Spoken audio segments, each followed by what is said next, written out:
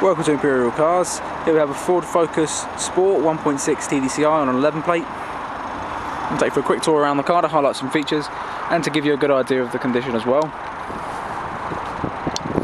Okay, so starting off around the back, we've got parking sensors all along the rear bumper.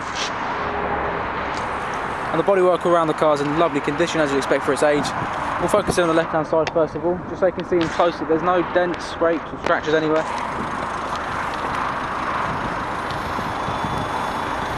Also got front fog lights and 16 inch mini ST alloys. All of which are in perfect condition with no scuffs or marks. Okay, so inside the car then we've got uh, full black cloth upholstery, same as you get in the titanium model. Really, really nice trim as well. And all been nicely kept with no rips, tears or stains front or back. Into the front we've got automatic headlights and rain sensors. Steering wheel stalk controls behind here for the audio system. And we've got full colour satellite navigation. Radio, CD player with a USB port and auxiliary input as well. As well as Bluetooth audio streaming. And with that we get telephone connectivity with voice control as well.